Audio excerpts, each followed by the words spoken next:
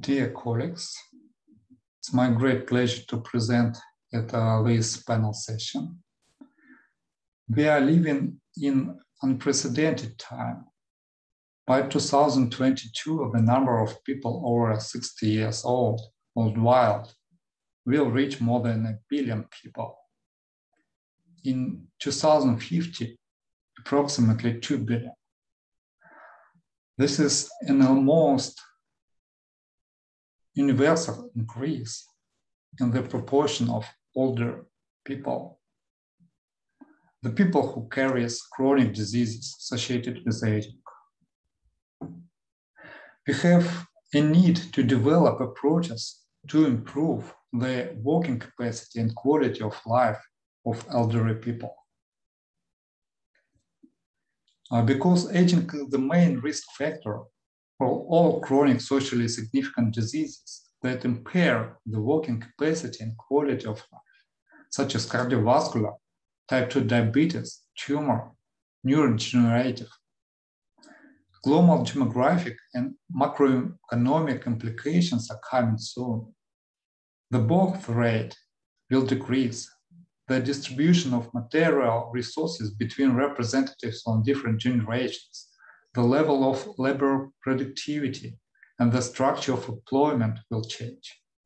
And the high intensity, efficiency, and effectiveness of medical and social services for the elderly will be required. In the current situation, it is necessary to unite international efforts to systemically combat this problem.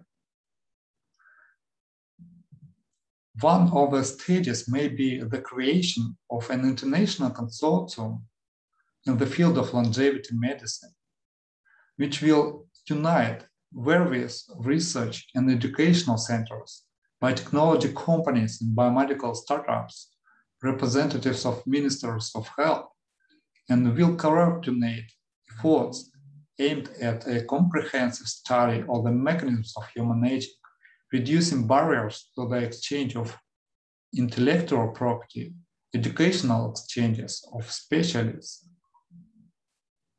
It is necessary to jointly develop mechanisms that allow for the integration and exchange of big medical data on the metabolic and physiological characteristics of the elderly, including long livers uh, between different stages Uh, and the different states for joint study, including with the involvement of deep machine learning methods.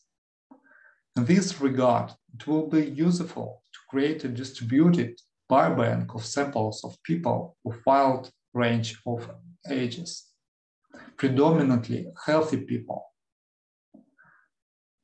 it is necessary to create a comprehensive knowledge base of methods for early diagnosis, prevention, and treatment of age-related diseases and conditions. It is necessary to jointly conduct multi-center clinical studies of new treatments for age-related diseases, as well as the preventive effect of diet, exercise, daily regimen on the health of the elderly. It is necessary to coordinate international efforts to the development and translation of new pharmacological geroprotectors, drugs that slow down and reverse the aging process. Methods for individual assessment of the patient's aging rate, so-called aging clocks, uh, gene and cell therapies, technologies for growing and transplanting organs from the patient's own stem cells. International efforts and exchanges should ensure the training of highly quality medical personnel in longevity medicine who will deal not only with the problem of helping the elderly, but also with the targeted prevention of the development of chronic diseases of aging in people of all ages.